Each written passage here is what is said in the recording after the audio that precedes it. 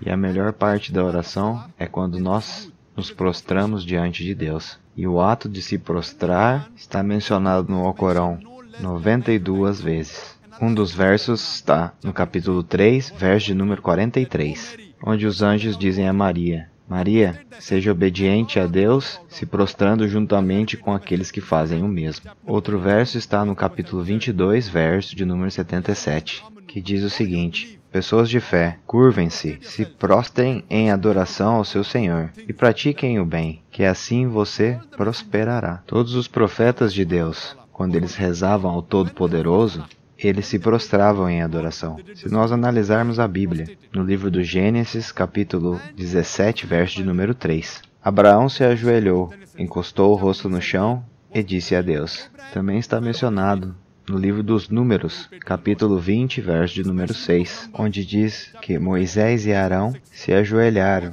encostaram o rosto no chão e a glória do Senhor apareceu. Também está mencionado no livro de Josué, capítulo 5, verso de número 14, onde diz que Josué se ajoelhou, encostou o rosto no chão e adorou a Deus. Está mencionado no Evangelho de Mateus, capítulo 26, verso de número 39, que Jesus, nos jardins do Getsemane, se ajoelhou, encostou o rosto no chão e orou a Deus. Então aqui podemos observar, de uma ponta a outra da Bíblia, que todos os profetas de Deus se ajoelhavam e encostavam o rosto no chão para a oração, para a adoração, para se comunicar com Deus.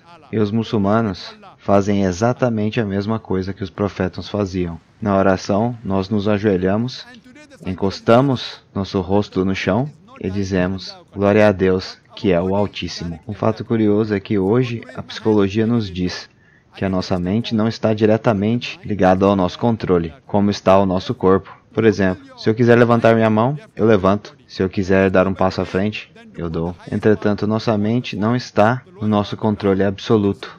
Por isso, nós muçulmanos acreditamos que não existe melhor maneira de controlar a nossa mente do que colocar a parte mais alta do nosso corpo, que é a testa, na parte mais baixa, que está no chão, e dizer: Glória a Deus, o Altíssimo, glória a Deus, o Todo-Poderoso.